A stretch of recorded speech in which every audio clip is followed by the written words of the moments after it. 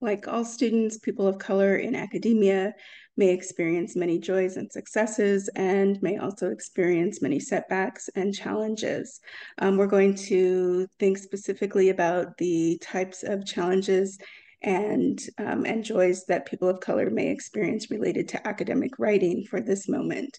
Um, in that regard, many um, people of color have uh, express that there are levels of discrimination that they experience with their writing, certainly um, some insecurities and levels of imposter syndrome.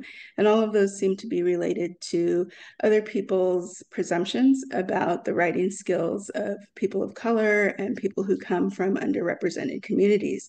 So, for example, if you are a person of color, if you um, are a non native English speaker, or you come from a community who um, who uses a specific dialect of English that may or may not be standard. You may have heard from instructors and colleagues that your English is not um, academic enough. Even if it is academic enough, they have made presumptions that it may not be. Um, you may be perceived as underprepared because you come from a school in an underrepresented community, and all of those types of comments and assumptions about your identity and your ability impact your um, your ability and your motivation to write. And so often we experience writer's block, hesitancy to share our writing, and um, imposter syndrome, a real belief that what we write is never going to be good enough. So it's really important that we have an awareness of these types of issues and an understanding that um, those are assumptions that are made on um, unfounded beliefs, right? That there is no guarantee that it is not a fact that your writing skills are less than simply because you are a person of color or you come from an underrepresented community or an underrepresented background.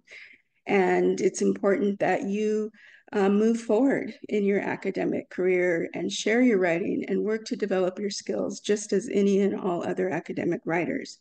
It's also important to recognize the strengths that you do bring to your academic writing because you are a person of color and you come from a community that already has a rich background in knowledge keeping and knowledge sharing.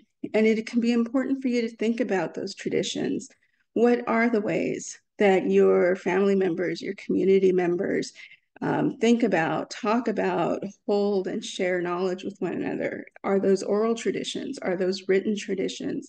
How is information um, retained? How is it shared? What are the research methodologies? Um, how is data explored, examined, and al- analyzed?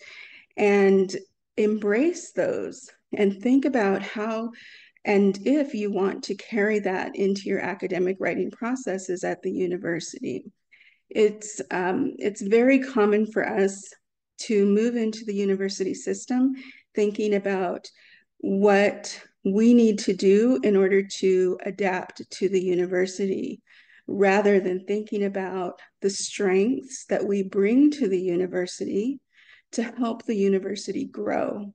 And as people of color, we do bring strengths, and those include our writing, thinking, research skills. And when we can start to embrace that and start to really think about those skills as valid academic qualities, um, then we're beginning to empower ourselves and we can begin to move forward and we can begin to find ways that that the institutional skills and our skills intersect, and we begin to make conscious decisions about what we want to improve, what we want to grow, and how. So, yes, you may need to develop your academic writing skills in order to grow in your academic discipline.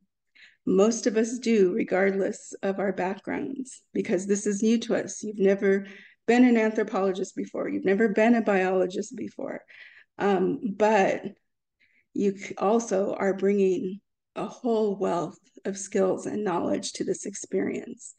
And that is something for you to embrace.